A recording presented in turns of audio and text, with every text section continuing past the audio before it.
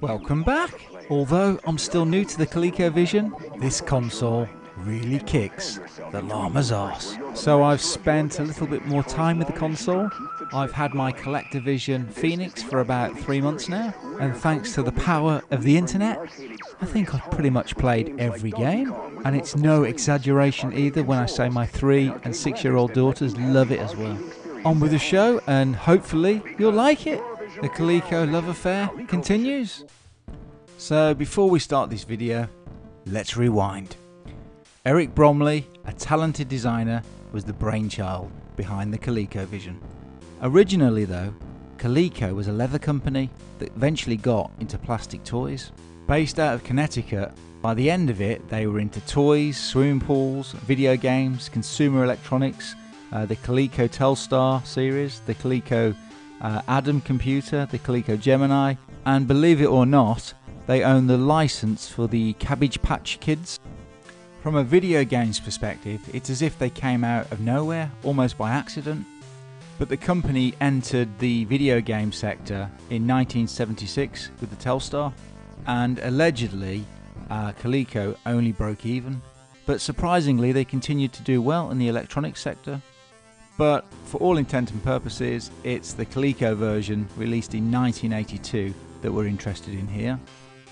And on that, um, Damien McFerran on the 18th of September 2010 did an article for Nintendo Life where he interviewed Bromley and it went on to say I picked up a copy of the Wall Street Journal and saw an article about how the cost of RAM had declined. Bromley went on to explain I retrieved the latest copy analysis and substituted the new pricing. It came very close to the target price point I ran to inform Arnold Greenberg and burst into his office without even asking his secretary. Before he could react, I showed him the new figures. Ten minutes later, we were working on a new project with a working name, ColecoVision. It's a really good article from Nintendo Life, and uh, yeah, check it out. I mean, listen, it's been discussed many times, but I think the key to the early success for the ColecoVision is largely squarely down to the pack-in cartridge, which was the adaptation of the arcade game Donkey Kong. I'm learning more about the ColecoVision as I go along with it, and I'm not sure if this is true or not because it's only what I've read, but apparently it wasn't plain sailing to get the Donkey Kong license. Atari were also hot on the heels in regards to trying to win exclusivity for what then would have been considered the hottest arcade game since Pac Man. Apparently, it came down to a last minute Winston Churchill slash Braveheart speech. Quite a moving plea by all accounts. But it's apparently here where Bromley convinced Nintendo uh, president Yamauchi to grant ColecoVision initial rights before later releasing to Atari. An absolute game changer for ColecoVision this would have been and helped to fly thousands of consoles out of the shop doors. But then disaster struck, not just for ColecoVision but for Nintendo as well. In 1982, lawsuits are filed against both Nintendo and Coleco by Universal Studios, who claim Donkey Kong and its various ports infringe on their King Kong movie copyright. Coleco panicked and cut a deal with Universal, giving them 3% of Donkey Kong sales, where Nintendo gave them the two finger salute. I mean, you couldn't make this stuff up. Years earlier, in 1975, Universal had already argued that King Kong's copyright had already lapsed into the public domain. So the story goes it went all the way to the Supreme Court and Nintendo eventually won. And then after the win, Coleco eventually filed a suit and received a portion of their lost royalties. It's a fantastic story and I'd like to one day read a book about it. So after a year of development time, finally in 1982 the ColecoVision is released. And unlike the Sony PlayStation launch years later, there wasn't a single game available to buy apart from the pack-in game Donkey Kong that came with the system. But by September, a bunch of games followed. Cosmic Avenger, Smurfs, and Venture were released, followed a month later by Carnival, um, Ladybug, and Zaxxon. But despite a lackluster launch, the console is an instant success. And by Christmas 1982, it already sold over half a million machines. And if that wasn't good enough, in the first quarter of 1983, Coleco reported that over 1 million consoles had been sold with over 8 million cartridge sales. And from what I've personally seen from the ColecoVision so far, this was a giant step towards capturing the graphics uh, and game mechanics of the original coin-op, finally for the home. And ColecoVision even tried to future proof the console somewhat with the expansion module interface. But as they say, the rest is history. So, with all that guerrilla warfare out the way, ColecoVision were now the king of Kong. But as we all know, it's all about the games. So, on to the games. I thought I'd kick things off with Alcazar. This looks very similar to The Legend of Zelda. I've heard some people actually say that they prefer this over Zelda. And if I'm honest, the game does have a similar feel. Also, if you want to see the entirety of this game, you have to up the difficulty level. So basically, if you are going to play this game, just start on level 3. There's all sorts of objects, monsters, you name it in this game, in- including giant flies. Thankfully, your gun can fire off 8 shots and kill any monster. A solid 8 out of 10. There's no doubt the ColecoVision has an impressive lineup of arcade games. My girls especially like this one. It starts off easy enough, and uh, well, you're basically racing uh, a penguin uh, on a slab of ice. It's cute, and kids will love it. It's another ColecoVision game that stood the test of time, and there's definitely a challenge there, and it can get quite difficult later on. I mean, this is really fantastic stuff, and it plays as good as it looks. For me personally, and because my kids like it, a solid 9 out of 10. I'm sure I've said it before, but this for me is definitely my kind of game. Against all odds, you can fire in nine different directions. The challenge is fantastic, and the hand glider section massively switches things up a notch. You get one life, sparks will fly. This is one of the ColecoVision's finest. If I'm honest, the only thing missing is a continue option. But for me, the challenge, sometimes even the seemingly impossible, is the reason I personally love retro gaming. This one looks like a very basic uh, two player game, and if I'm honest, the Commodore 64 version graphically uh, is probably the stronger game. There's three difficulty levels to choose from, but this is a mega classic. If you've ever played Scorched Earth on the PC, you can see how much Scorched Earth borrowed from this game. This would have been a perfect four player game as well. It could have been amazing. You could have had weapon upgrades, a one player option. As things stand, a 7 out of 10. Here we have a game on the ColecoVision that is genuinely funny, which is a rarity in any era. And I think it's one of those games that people are still playing and will play for years to come. My kids have had a go at it and they absolutely love it. With uh, great games like this, no wonder the ColecoVision sold over 2 million units. It's a terrific, easy to dip into sort of game.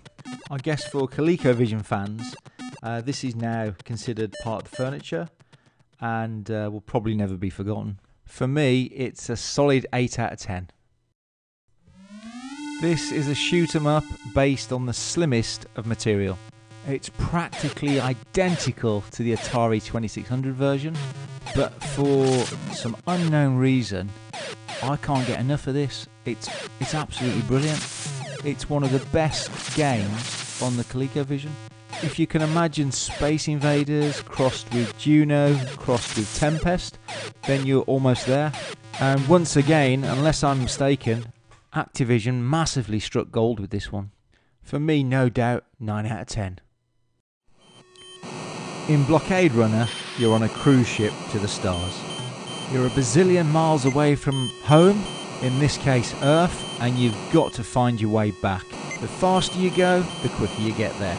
If you can imagine asteroids in 3D, but with a bigger ambition of scale. The game looks sufficiently colourful Everything zips along at pace, but what on earth is going on with that shirtless guy on the cover? This is Top Gun in space for the ColecoVision, and I'm going to give it a solid 8 out of 10. I've played this on the Amstrad CPC originally, and it's a fantastic game, and I think there's about five or six in the series. Um, I've also played it on the Commodore 64, and I think that's the ever so slightly better version. But this is no slouch, and it's absolutely fantastic to play. Just playing this is a great little trip down memory lane for me. It's just awesome. I get totally lost in it. Nothing else in the world exists when I'm playing Boulder Dash. This one gets an 8 out of 10. Uh, who doesn't remember Buck Rogers in the 25th century? It ran for 33 episodes in the early 80s. I remember it was either this or Doctor Who on the other channel. I personally love this game. Uh, it offers deep space action with a similar formula to Space Harrier, and for me that's difficult to resist. Unfortunately, the robot doesn't feature in this one, and there's no biddy biddy biddy and thank goodness Gary Coleman doesn't make an appearance. It's great watching your starfighter blast off into space, and I don't care what anyone thinks, this is a solid 8 out of 10. I was literally just talking to somebody today about retro gaming, and he said he wanted to get uh, an Xbox, the original one, so he could play all the old retro games on it. And I mentioned about uh, the Raspberry Pi and my ColecoVision Phoenix, and how I can't wait to get home and play it. Naturally, time permitting, which is a rarity these days. But it's because of games like this. Terrific stuff. Without question, uh, one of my favourites. Easily an 8 out of 10.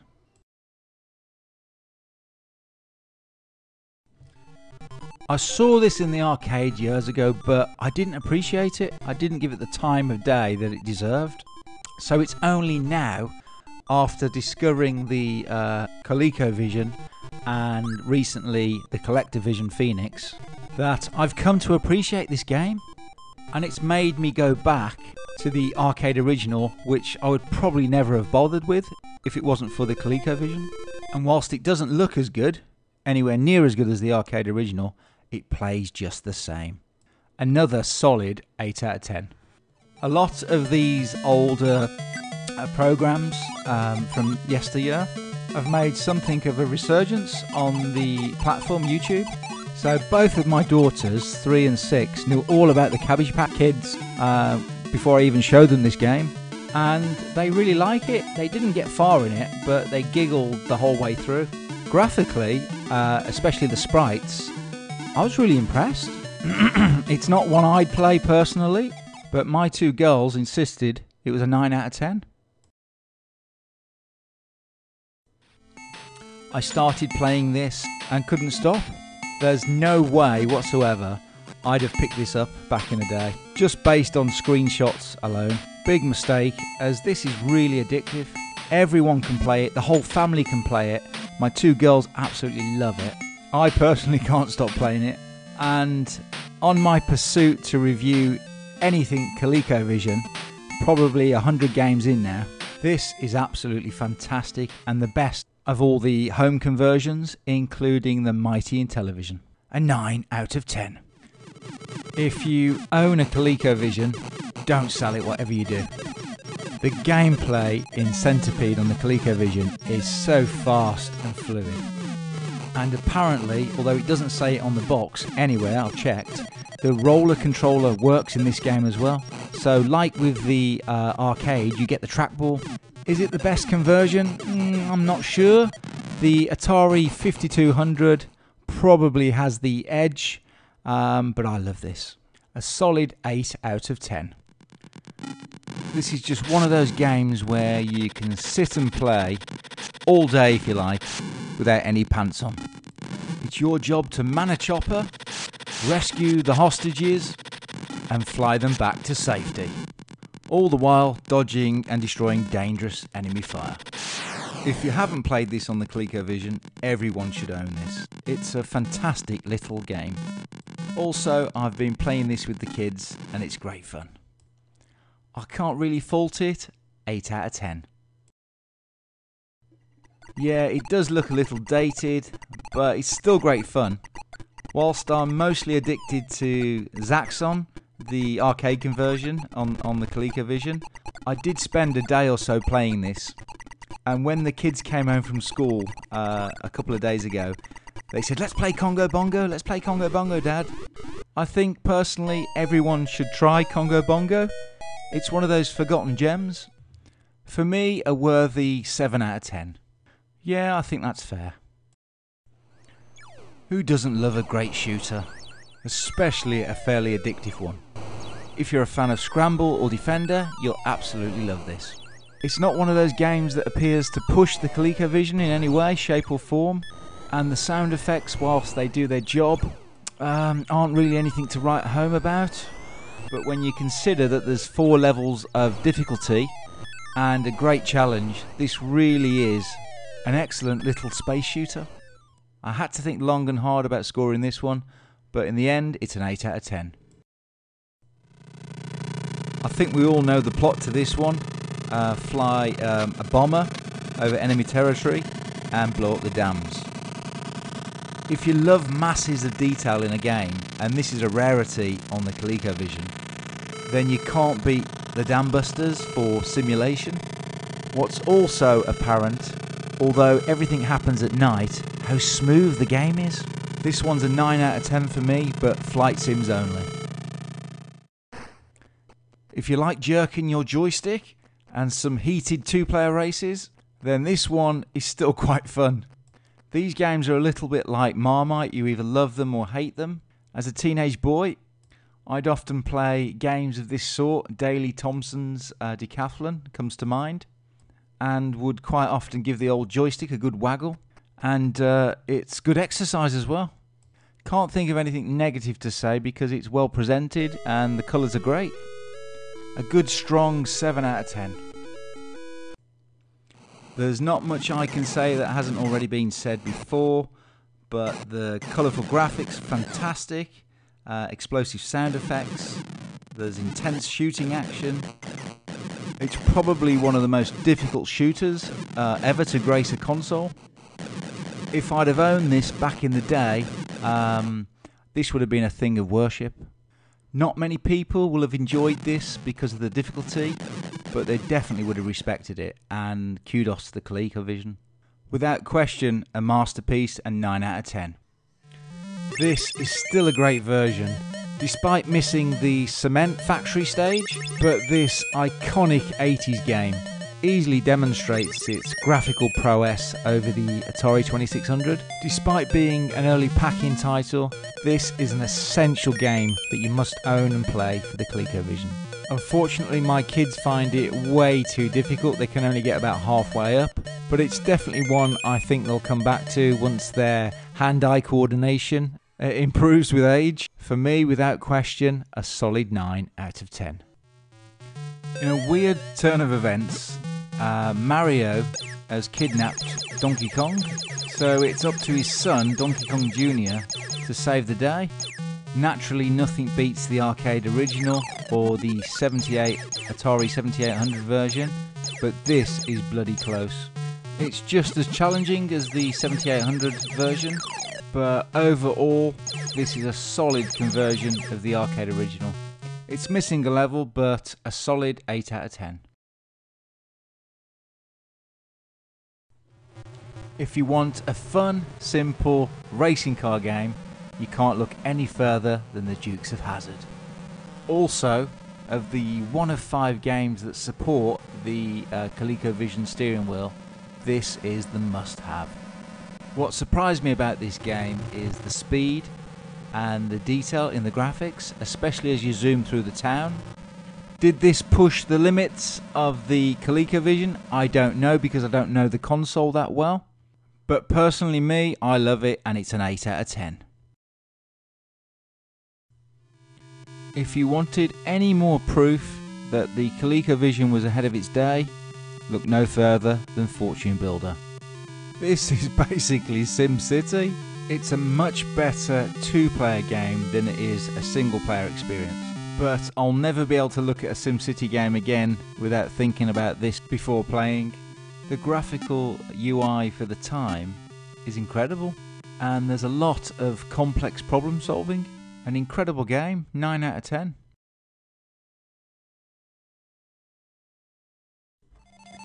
Now, this is something super cool uh, I've just come across. Our main protagonist looks like half sausage, half firefighter, all fire extinguisher. It might be a simple game, but there's quite a bit of variety. There's two stages to every level and four levels of difficulty. I quite like the sound uh, and especially the graphics. And the other level will see you clambering up drain pipes, swinging from window to window. And it's just all round good, entertaining fun. An 8 out of 10. Anybody old enough to remember Berserk? Well, this is Frenzy, the sequel. Both of these games went on to influence Robotron 2084, um, Smash TV, and you could say Geometry Wars. You've basically got to traverse what feels like an endless amount of rooms, where the aim is simply to survive. It's not often a sequel plays better than the original, but the second game is definitely more fulfilling. Considering this is 1983, I've got to give this one a 9 out of 10. The attention to detail in this arcade conversion for the ColecoVision is absolutely amazing. As with the arcade, you get through the first couple of stages and then the difficulty starts to ramp up a little bit. Frogger has lost none of his charm on his conversion down from the arcade to the ColecoVision. I think the motorway section is slightly bigger, there's more cars on the arcade original, but my girls absolutely love this, they think it's fantastic. So I'm going to give this one um, 8 out of 10. Mad for it. This doesn't look great, I'm not going to lie to you, but it plays an absolute blinder. If you can get used to the controls, the Orca controls, it really does kick ass. This is a very well done port uh, considering the ColecoVision uh, limitations of Taito's 1982 arcade hit. And the action really takes off once you reach the tanks, so that's kind of why you need to stick with it. The trick is to keep moving, keep firing, which all adds up to non stop pulse pounding action. An 8 out of 10. Galaxians is so famous it featured as a game that you could play whilst Ridge Racer was loading on the PlayStation. Gone were the regimented formations of Space Invaders, now it was all out chaos. You'll need nerves of steel to make it through wave after wave of enemy unpredictable attack. This ColecoVision port to me seems feels absolutely arcade perfect. I can't say for sure if it's my favourite shoot 'em up on the ColecoVision, but it's up there. This one gets a 9 out of 10. Despite the simple graphics, I really like this game, I like it a lot. There's lots to collect, including treasure. You can upgrade your weapons, which includes a longsword. There's a good combination of early RPG and action. And there's some that say that this is the godfather to the Diablo series. And the simplicity, including the graphics and sound, just work. There's no doubt in my mind this is a classic and an 8 out of 10.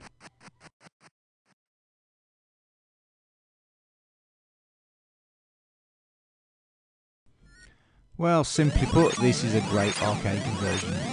Especially to think that this came out in 1983. It does feel ahead of its time, and the oval shield protection is quite innovative at the time. And if, like me, you'll just play this one over and over. In the words of Kevin Keegan, I love it. Unfortunately, the Galaxian level that you get in the arcade is missing, but it's a great little multi-part shooter, and I give this one an 8 out of 10.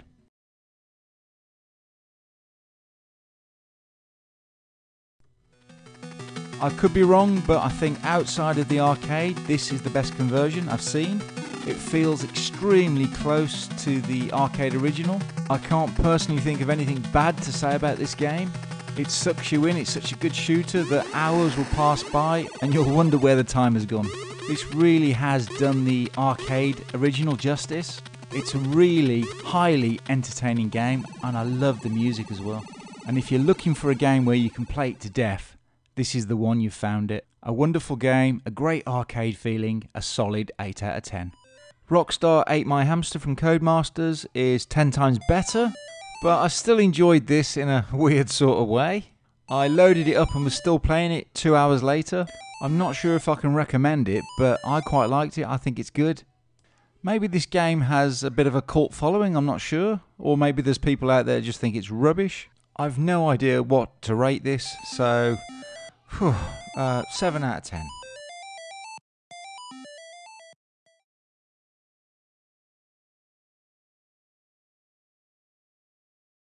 I'm not sure how many people will agree with me on this one, but this is probably one of the best games I've played on the ColecoVision.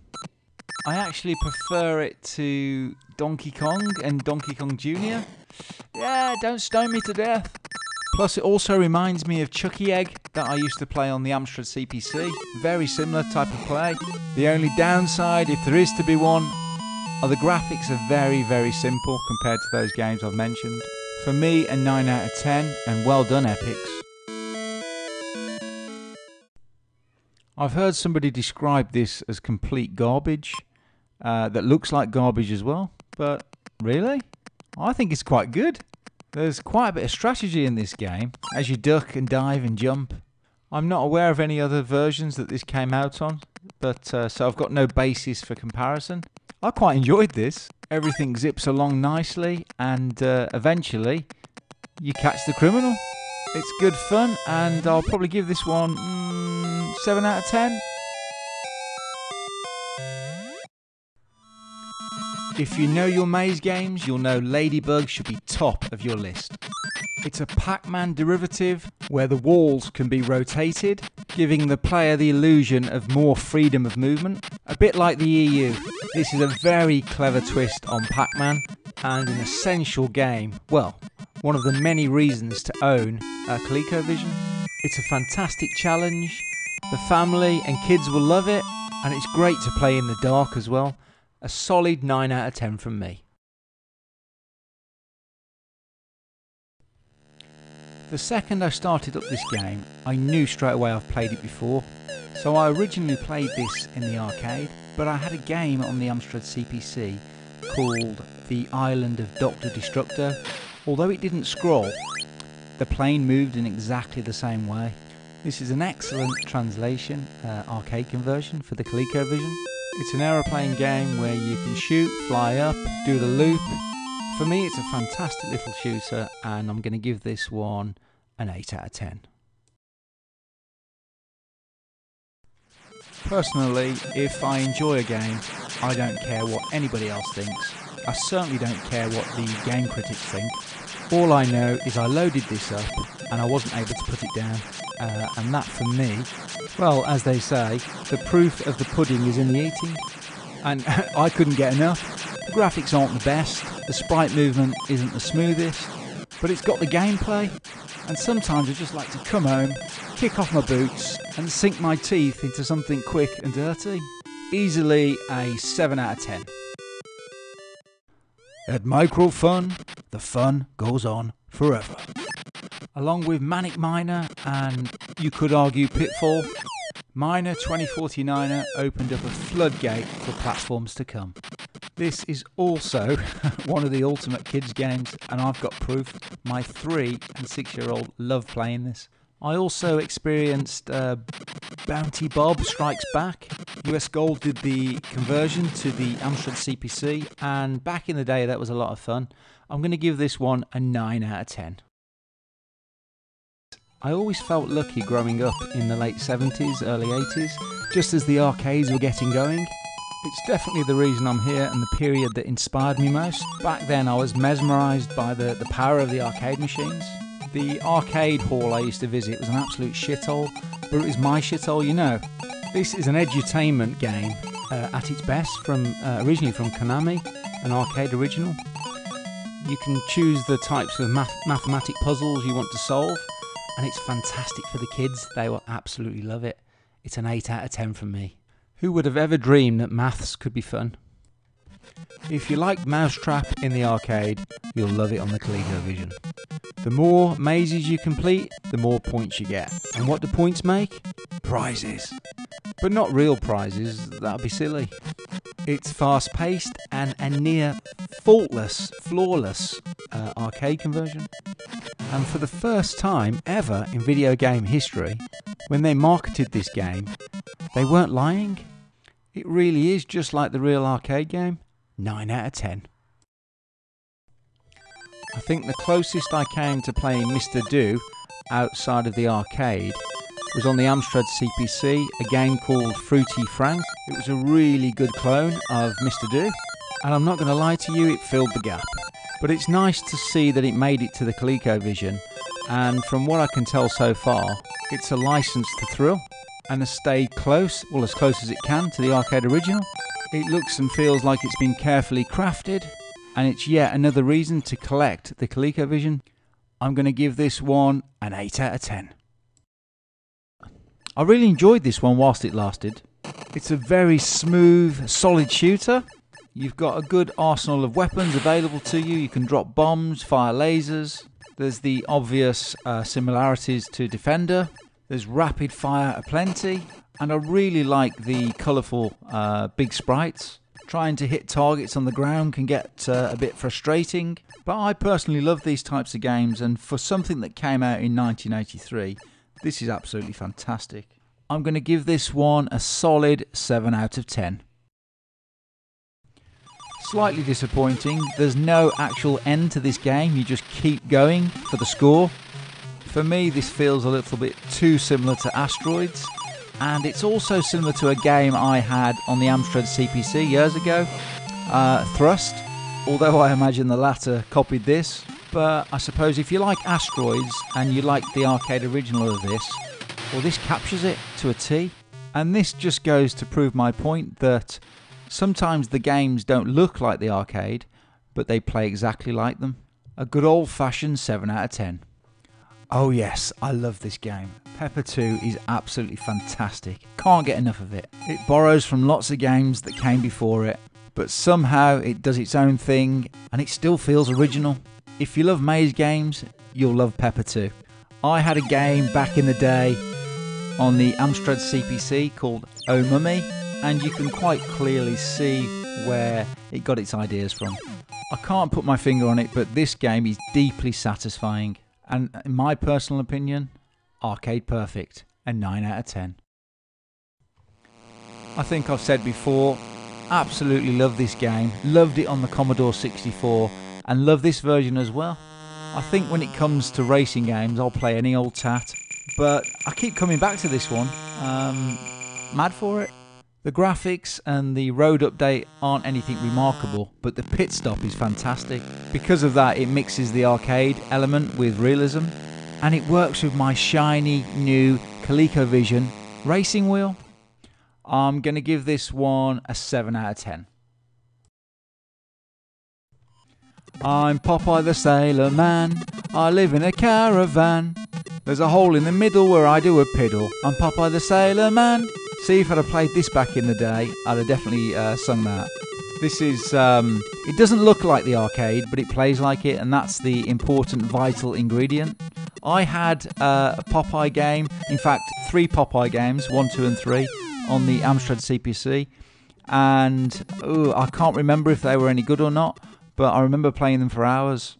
If you like the arcade version, you'll love this. 8 out of 10. It's got a giant cobra in it, it's got spaceships, and it's based on DC characters I've never heard of.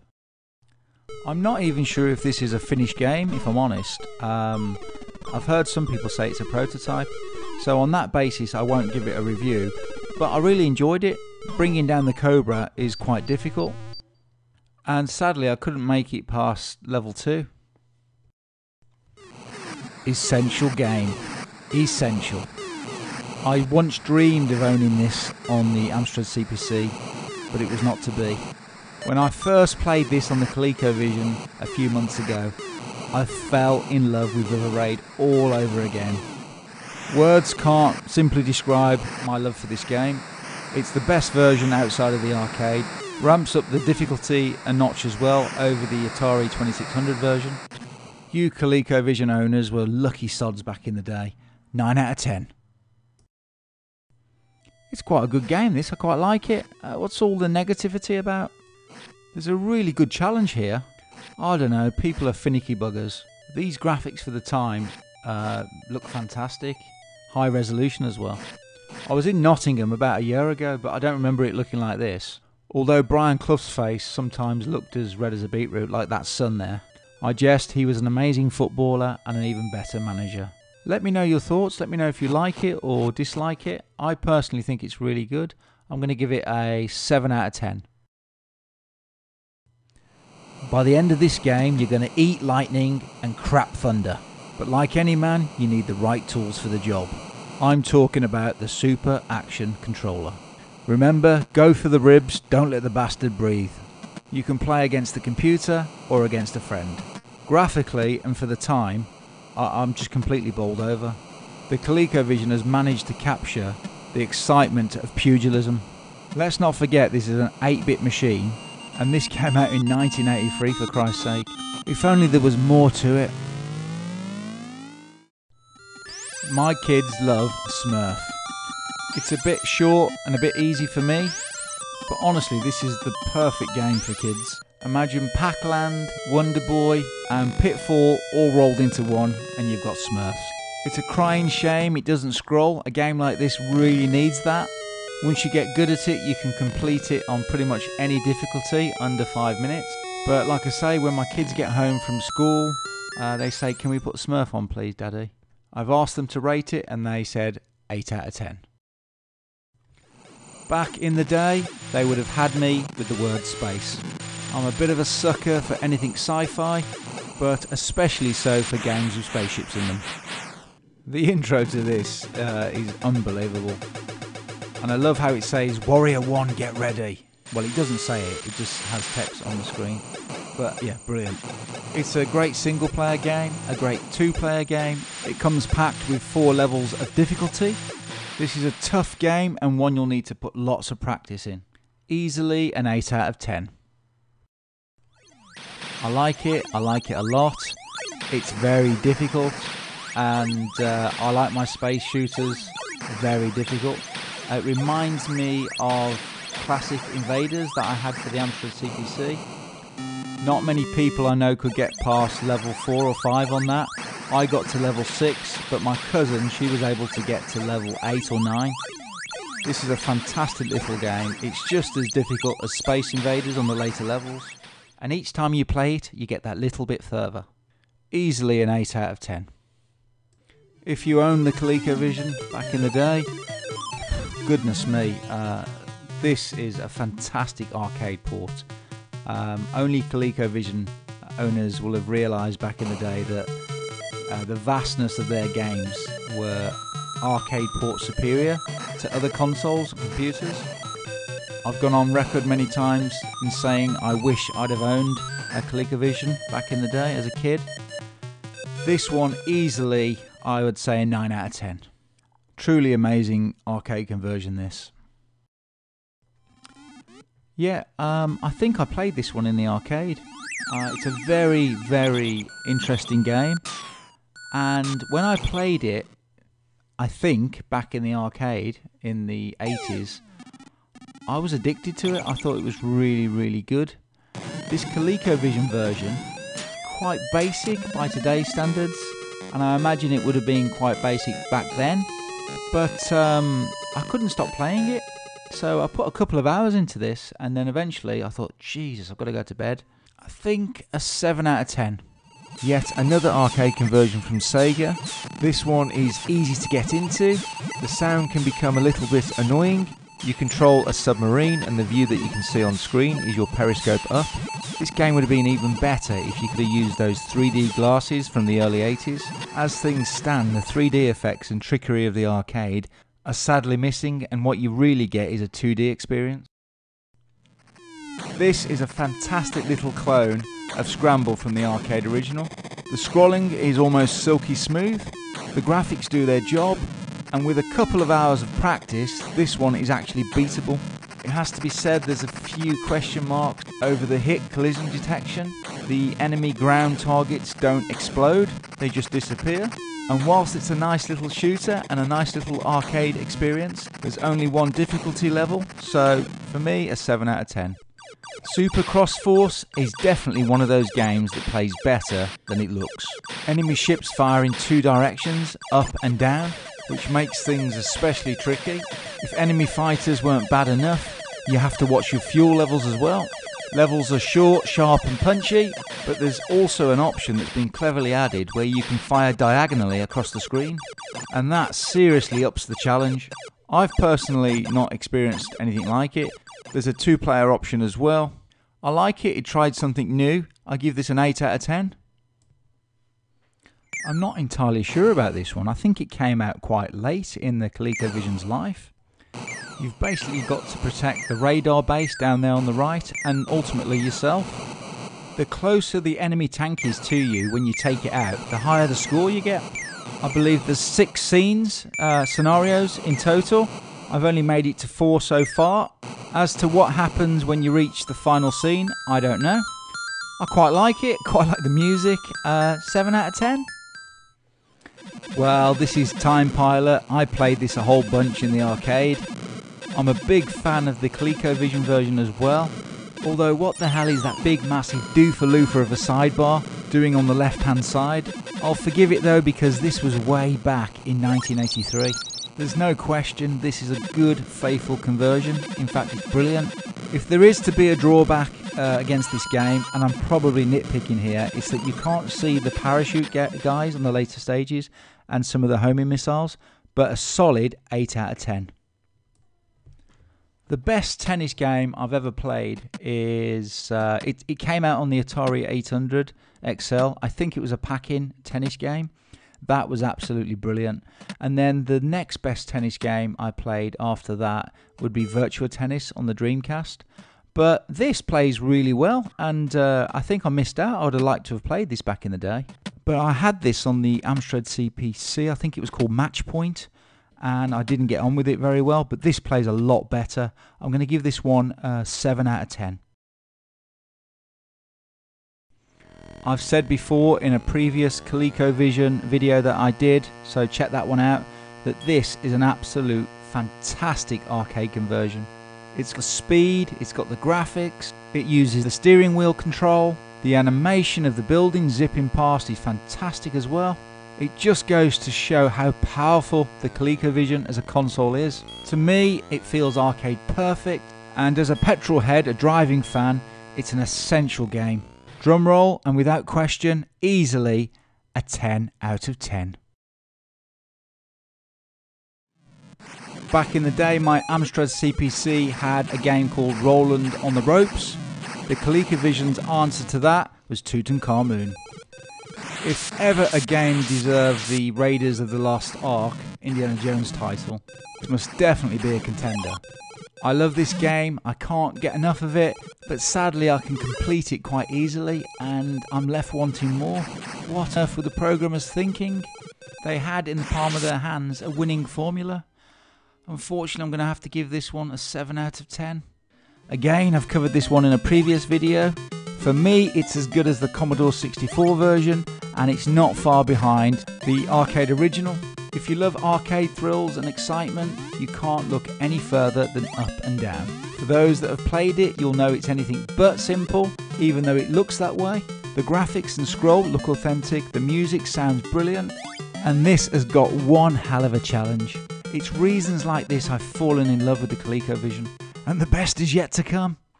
Oh god, yeah, a 9 out of 10 for this one. Come on, Winky, you can do it. No, I can't. Yes, you can, Winky, you can do it. No, I can't. Of course you can. Come on. I can't, I'm just a fat, useless, hardly manoeuvrable blob. Good old Winky has found a tomb and he's got to collect all the treasure. Has anybody ever seen the arcade machine of this? In all seriousness, this is not an easy game. It looks simple, but there's a massive challenge here. Also, Berserk anyone? There's four levels of difficulty, and the music and sound are amazing. There's only one Mr. Winky. Has anybody noticed the reflection of this game, the cover of this game, where they're looking back and it's not the same image? That's a bit freaky. Thankfully, the game is scary, but in a different sort of way. This is loosely based on the fantastic movie from the 1980s. You've basically got to defend the United States from a nuclear attack. And on a system peppered with arcade conversions, it's nice to see something original. Without practice, the tension becomes unbearable. The graphics do their job, but it's the playability where this wins through. a 9 out of 10. Another game where you've got to defend the United States from a nuclear attack. Talk about lightning striking twice, but it's highly original. It's not too dissimilar to war games, but seeing a city light up in a plume of smoke looks great. I quite like this, it's really addictive to play. This is a really difficult game, but it's more of a survival game. It's a bit like Tetris, there's no way to win. I think the longest I've survived is about 35 minutes, and eventually as you see in Missile Command, you lose all of your cities and it's game over. Easily 8 out of 10. I can't quite put my finger on it, but this reminds me of something that I played on a different system. The graphics and the locations look wonderful. The sprite's not so great. It comes across highly original. Our dragon has basically got to collect uh, lots of fire crystals. There's a giant enemy to the east of the cave. Collect enough fire crystals and only then might you have a chance of defeating the Guardian. If you defeat him, you get the diamond crystal, and then you have to take it back. You can even collect eggs that give you extra lives. A solid 8 out of 10. Well, I promised I'd save the best till last, and they don't come any better than this wonderful arcade conversion. This one is an essential game for your ColecoVision, and I give this one a 10 out of 10. Sadly, we've reached the end. I hope you've enjoyed this video. If you did enjoy this video, don't forget to like, share, ring that bell, and please subscribe. Let me know if there's anything else you want me to cover on the ColecoVision, maybe newer games. And I'll just close by saying this is a fantastic, wonderful system. I missed out. And until next time, bye!